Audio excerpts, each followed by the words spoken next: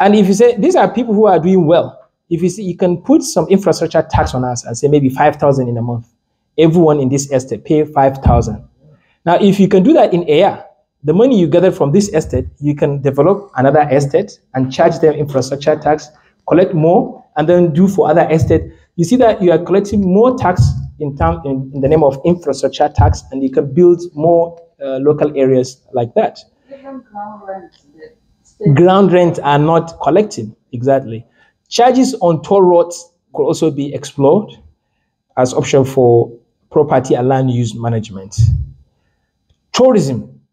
Tourism also leads to jobs and revenue, like what we are doing here. This is tourism for me. we are creating jobs for people and creating revenue for people. Imagine that we are the ones attracting foreigners to come to Nigeria. These jobs, this revenue will come to Nigeria. In 2022, the international tourism receipts for Africa amounted to about $45 billion. Tourism Africa, $45 billion, uh, representing 5% of global tourism receipt. So out of 100%, Africa received only 5% of the world tourism receipt, which is grossly inadequate and low. So the most popular tourist destination in Africa are South Africa, huh? Kenya, Morocco, Kenya, Egypt, Tanzania. Well, I have this top five on my list. Yeah, because tourists pay taxes. They also pay fees, especially visa fees, right? Airport taxes. These are all sorts of revenue. So we can build on them, especially states that have this potential for tourism. But if you can build beautiful hotels and towers like this and clean environment, especially clean environment, uh, free of traffic, uh, free of insecurity, we can attract tourism. Because one of the major hindrances to Nigeria's tourism is security. Now, I talked about oil and gas. I also look at uh, agriculture. What about mineral resources?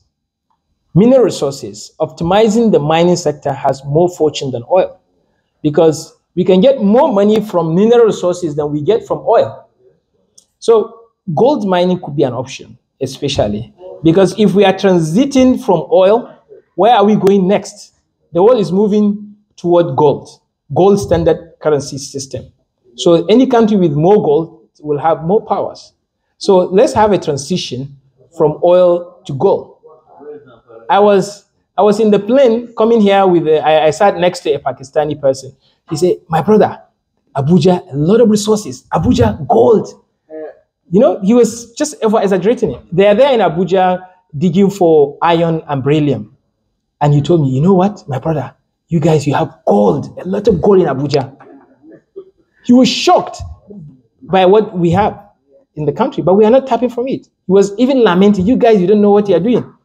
So this is someone from outside. So we can review and update the existing laws and regulations governing the mineral sector so that we can have a standard law like the PIA that is governing the oil and gas. We can have a similar law that will govern the mineral resource sector. We should also create a one-stop shop for investors to obtain the necessary permits and approvals to operate in the sector. Now, if you are operating in the mineral in the mining sector, you pay this tax, you pay this person, you thought you are, you are free, someone will come and chase you again and again. There should be a regulatory body that is managing the mining sector in the country. We should also target solid mineral export to restore the value of Naira and encourage the development of the downstream industry. So we should not treat the mineral sector like the oil sector, where you produce the, the crude, but we are not producing the refined petroleum. So we should also process the mineral resources, not just exporting the, the, the commodities. We should also invest in geoscience data to know where we have these resources. Yesterday, we saw the map of all the natural resources we have. We can do more to improve on the exact estimation of the quantities of these reserves. And we should build the capacity of local skilled workforce for the sector. Now, why do we have to import a Pakistani person to work in the mining sector? Our people should be skilled enough to harness, to do the mining themselves. Now, these people, they will start cheating the country and underestimating, understating the reserves. So we should have, we have to build the manpower. like we did in oil and gas. Most of us, we got scholarship to study abroad to, to enhance our knowledge, skill in the oil and gas sector because we have the resources. So we should sponsor people to study abroad too, to build their skill in the mining sector. So we should also be thinking of mining sector. Entertainment is one of our comparative advantage. Uh, last presenter yesterday talked about it.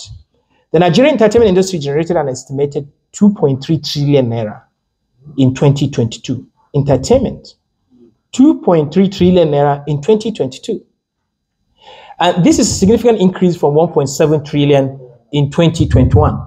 So building and investing and providing the infrastructure and support to the entertainment industry could also help with that.